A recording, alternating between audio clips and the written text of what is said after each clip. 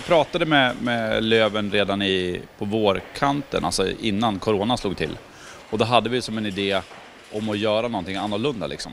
Och ja, det jag är bra på det är att skapa smaker liksom och, och få ihop folk som, som passar för att göra en sån här grej. Så då kom vi på idén att men fan, vi kan göra en lövenläsk liksom. Det vore ju hur kul som helst. Eh, och då är det ju problemet att få fram någonting som smakar björklöv. Men eh, ja, det lyckades vi hitta så att eh, ja, på den vägen var det. Och så sen pratade jag med Albin på bryggverket. Eh, och vi har ju gjort lite läsk förut, så för oss blev det ganska så här, ja men inte självklart, men det blev också så här, det fanns ingen annan jag kunde göra det med som jag tyckte var lika roligt att göra det med. Så att, eh, det är roligt att labba och hålla på och dona på med sånt här liksom. Vi har ju labbat rätt mycket fram och tillbaks och eh, har kört, eh, vi har en björklövsirap som vi har fått tag i genom Peter på Sjöborgen. Vi har labbat i dagar nästan för att få fram rätt blandning. Vi har kört på småbatch först och sen nu trycker vi på stor tank och det blir 10 000 burk. Och den kommer att säljas exklusivt på Coop, huvudsponsor till Björklöven.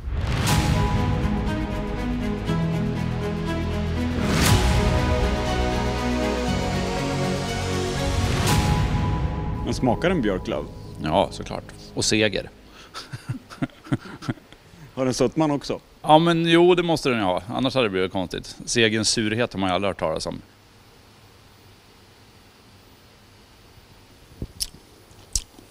När du smakade den första gången, vad fick du för upplevelse? Jävligt spännande och det var något helt nytt. Jag har aldrig smakat björklöv förut. Men som Emil sa också, det är Segers sötma.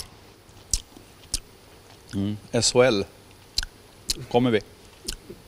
Nej men det är syrligt, fräscht, det är gott eh, och jag tror att det kan passa alla. Det spelar ingen roll om du är fyra eller 85 liksom. Det ska passa alla.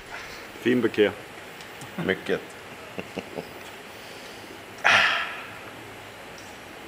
Det här allting börjar. Exakt. Nu har vi kopplat upp mot tank. Först eh, evakuerar man burkarna på syre så att det inte ska finnas något syre kvar.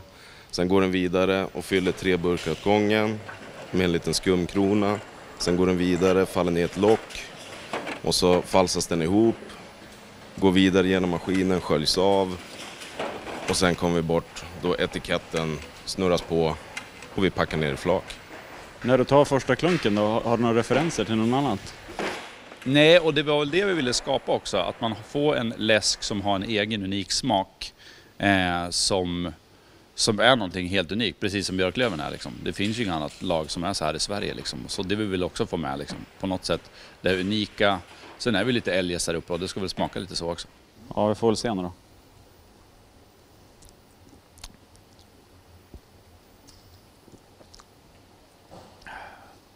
Björklöv. En. Vad kan du berätta om etiketten då?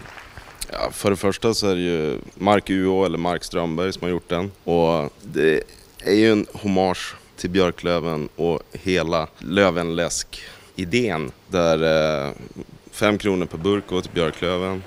Mark har ju gjort massa andra grejer för Umeå och Björklöven och är en designer och artist av rang.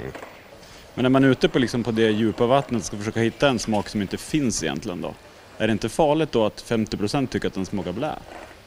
Jo, men det är också det som är kul. För alla kan ju inte tycka om allt liksom. Men den här tror jag ändå att de flesta... Så här, även fast du inte gillar det, fan gillar du inte björklöven, ja, men då behöver du inte dricka det.